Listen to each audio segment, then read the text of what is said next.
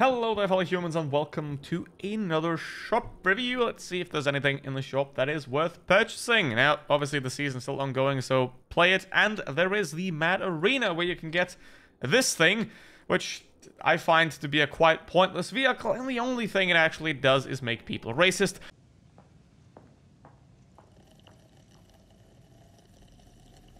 Play the event, you have to earn mastery badges in tier 4 to tier 10, and uh, if you collect these points here, you can get the vehicle at the end. Basically, you have to collect this eight times, you collect these two plates, and then you can get the vehicle right here. It's not really a vehicle that you have to have, and you're going to play it like three times and then realize that it's quite pointless. Or you're really going to enjoy it, who knows. Uh, but generally, it isn't really a, a, worthwhile vehicle in the most part. Now, the problem is, this is a terrible draw. Stop, stop going through the Alpha Prayer draw, ignore that. The problem is, this vehicle, the 121 GFT, is a excellent tank destroyer. Like, this is one of the probably the best tier 8 uh, tank destroyer in the game. And if you have this one, you don't really need any of the others. The problem is Wargaming knows that. They're only going to sell them in terrible offers like a draw right here. Obviously, if you look at the price here, 16 levels. It's going to add up to somewhere like 15,000 gold. Not really a good purchase here. However, if you really want the vehicle, like, this is one of the very few vehicles where I actually find it somewhat defensible if you hate your own money. But it's a great tank, but again, the offer in the draw is absolutely awful. But Wargaming knows that it's a good tank, so they're not going to sell it for any good prices, like, ever. So, there is that. Then we go to the regular offers. And I'm just going to skip all through all the crates. I mean, yes, the Vipera exists, and the... Uh, I wouldn't recommend it because it's in crates, so just ignore that for the meanwhile. It's an okay tank, it can play quite well, but ignore it in the crates. Then we have the T95 E6, well, I'll go into that in detail a little bit later, um, but it's an okay uh, bundle right here now. The times 5s are locked, and there isn't really any like gold or premium time in here. There's just pointless containers, which kind of sucks. 22,000 here. So many, so many gambling, like so much gambling. This is just sad. That is just sad. Like, you would love to see some premium time or something actually useful in here rather than crates. But that's how it goes. It is a solid tank. If you're a very advanced player and you enjoy the heaviums, um, and you have the 260 but hate playing it, then this is probably the good alternative to have the same playstyle but have a much better tank. Then, uh, I mean, they're fun. The M41D was given away for free quite a couple of uh, months ago or years ago at this point. So I think this one was given away for free at some point as well. So there's like, eh, don't buy this. There's no point. Like, they're great for free, but they're not worth anything outside of that. And uh, same with this one. I mean, the M4190, it's a fun little tank, but in terms of grinding creds, it has no use at all. Um, but uh, 7.5. This is hilarious. Like, this is hilarious pricing right here. Like, you have 7.5k for the vehicle here and only equipment. And then for 1,000 gold more, ladies and gentlemen, you can get a Scorpion G, a worthless crate. You can 25 unlocked times 5, which is amazing. And then these 25 times boosters right here for 1,000 gold more. And this is what I mean with bad shop offers.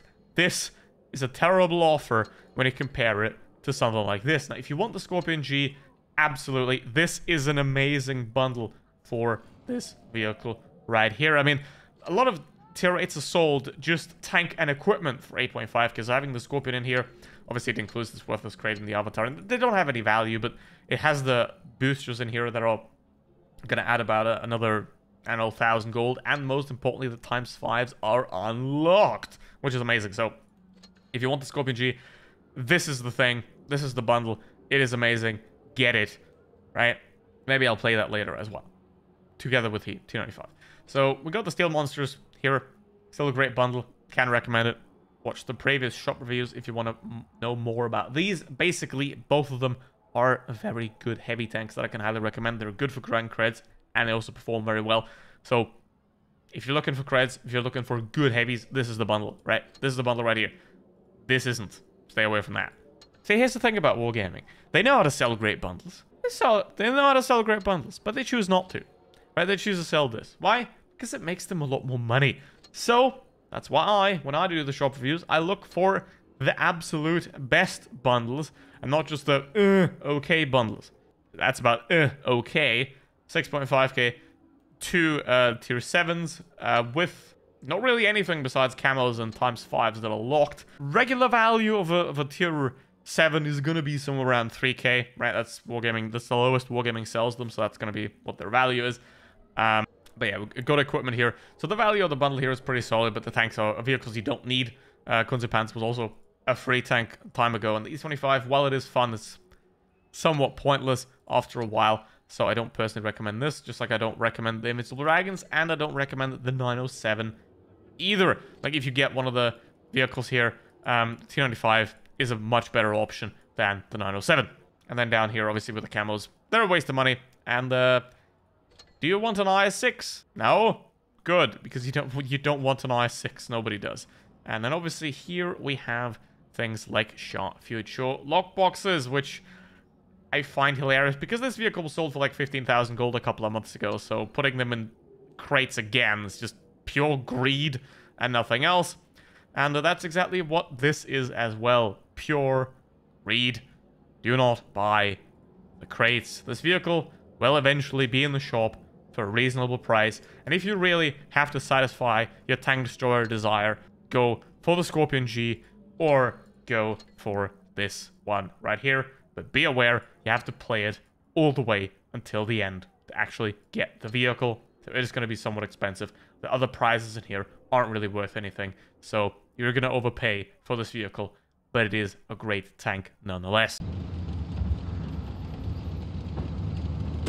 Alright, let's have a look on the Scorpion G first. I already made the T95 battle, but anyway. Let's have a look at this thing, because the WZ-120 is the prime tier 8 tank destroyer, right? That's the one you've got to have. This one is one that you can have. Now, it is a Panther hull with no armor whatsoever, which means you're gonna have to play this thing from the back lines, or you should. I don't.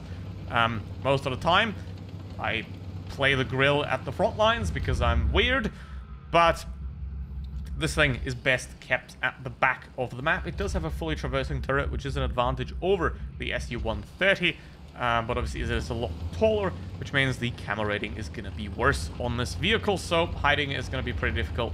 Obviously, the second you go anywhere, you are going to get penetrated, but it is relatively quick enough to go places that you wanted to. Um, but obviously, the second you actually expose this vehicle, are going to get penetrated. And uh, now we have a problem because our light tank, which is a T-92, which would be extremely useful at this side of the map against the MX-30 Proto, is incompetent at this game. Which is lovely, and there's the enemy T-92. I'm gonna have to get out of here. Um, you can you can clearly see that this guy doesn't have a clue. Like, if you're a light tank and you brawl with, with heavy tanks, you just have, don't, don't have an idea. Especially if brawl from the front, right? If you went around the outside and, like, attacked T-30 or whatever from the side, sure, that's a fair game. But if you try to dive headfirst into heavy tanks, you're just a bad player. So, in that specific game at least. Because remember, just because someone does a stupid decision in one game doesn't mean they make that this stupid decision every game. Uh, keep that in mind. I have to say that because I make stupid decisions all the time. So let's see. Like I am doing right now, making a very stupid decision, peeking headfirst into heavy tanks. Um, okay, now what I want to do here though is gonna go around the outside because the T92 can't do that. He's too stupid. So I'm gonna have to do that. Um, yeah, no, no, no, T30. We're not we're not playing that game because he can kill me with the, his HE rounds. So I'm gonna get out of here. Uh, the MX30 is not likely to actually chase me here. I'm just going to go around the back. I could put an HE into the rear of the T-30, so that's going to be my next objective here. Um, the game should be in the bag because obviously the enemies here played it quite badly. Um, so let's see. There we go. Alien on Blitz. Oh, we have extraterrestrial help. Not bad. Let's see. But now, um, hold on. I'm gonna change my approach here because you don't want to directly approach the enemy ever. Like, Blitz maps are quite small, but just move around, God damn it! Move around. Use the map to your advantage. You have seven minutes. You don't have to just run, rush headfirst onto the enemy. You don't have to do that. Nobody forces you to. So, see? Like that. Now I'm on his side, and I can shoot him in the side. If I was still where I was over there, I would have to face his front. So, much advantage right here. And if you understand enemy movement, you'll be able to outflank them quite easily. So, not bad. And you can do that with a Scorpion G. Like, I'm playing very actively here. Like, I'm moving around the battlefield, and that is what this thing can do quite well. um, if you know where to go and what places to avoid. Um, that's what I mean. Uh, but obviously, you can't do that. Don't recommend picking up the vehicle. And uh, that's about the Scorpion G. It's a great bundle. And if you can do this playstyle very well, or if you want to learn it, Scorpion G is an excellent choice. But remember, if you are a average to below average player, this might not be an ideal choice because it is pretty difficult to play. Alright, here we go with the T95 E6 and the worst thing one can do with this vehicle is actually go to the heavy side because this thing is not made for brawling with other heavy tanks. This thing is made to hunt mediums, to flank around the map, to play the fringes of the map because it doesn't have any armor, but it does have some mobility and a relatively decent gun which means that you're always going to have to be on the move, finding your targets without the target finding you. That is going to be very important. Now, unfortunately, that AMX is incredibly bad in this current battle. So we're going to have to adjust the strategy a little bit here. And now the uh, Sheridan is also abandoning Reason, um, which is a bit sad. Okay, here's the I-7. Here's the enemy. Yeah, that's exactly the problem right? Map control is very important. Map control is everything. So the enemy has a clear advantage here already. Um, simply because our mediums decided to not medium very well. Um, and that's quite bad. Now, obviously, I'm going to be right in the window where the enemies are going to push into. As I want to get out of here as, as fast as I can. Um, just so that I don't get shot at and my teammates get shot at instead. Right? Because if you play the city side, you deserve to get shot at. So let's try to make that happen. Um, let's see. It's gonna have to obviously get away from here. But you're still gonna be extremely annoying. And we're gonna have to go all the way around here. Uh, the Object 752. He tried his sort of best, uh, but he's just dead now. Uh, the enemy Kennedy one's probably gonna go down. So we are gonna have to be somewhat careful. Right? The worst thing you can also do, if the enemy's pushing you, is just try to, like, stop them. Right? Because their momentum is just gonna crash straight into you and you're gonna die. So when the enemy is pushing you, just go around the outside, attack them from a different angle. It's going to work much better than trying to jump into them head first. Probably most of the time going to result in you dying. Right, you always want to be in the place where the enemy doesn't point their gun. So, in this case, the enemies are turning around, which is the exact wrong thing to do here. Like, they should have just kept pushing through. Um, and now they're turning around. And uh, we sort of have the momentum here, but... Um, obviously, there is uh, going to be a big problem still because we're down one tank. The yaw is low. Let's try and take that out. It's a good shot that we can take here. There's a tank destroyer down there. Have to be wary of. And now we should be able to take a shot at this guy. He's aiming at me, but I'm not really inconvenienced by that because I'm just going to peek very quickly. It's one thing to do with this vehicle. It can accelerate quite fast. You can, not take peeks quick, and you have to because if you expose this thing for more than you need to, you're gonna get arrested. Or in the blitz cases, you're gonna get shot at. And you don't want that to happen. The cupola on this vehicle is massive. It has the mobility to get out and to play different positions, so that is what you want to do here. It's also not a tank that you get when you're a beginner or when you're in the early stages of your blitz career. This is a advanced players only tank right here. Um, but yeah, this thing lives off its ability to reposition and bring this gun on target from all sorts of different angles. Alright, I should be able to get the object here if he peeks up a little bit higher. Nope, but the Minotaur is so low that I can just shoot down into his uh, turret, even though that still didn't go through. Minotaur's armor is entirely too ridiculous. I'm gonna shoot him right next to the gun. Because it sort of angles away. Um, so it's easy to shoot him right next to the gun.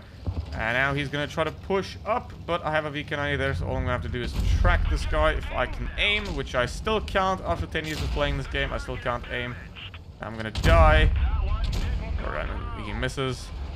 Uh, dance the tango here. Am I stupid? Okay, let's see. He's out of should be out of shells now. There we go. And that's that. It's a solid tank that can be purchased. But I only recommend it to really advanced players. Right, because otherwise, if you can't aim like me, it's gonna be a little bit of a problem, you know? But it works, as you can see. So with that said, thank you very much for watching, and see you for the next one.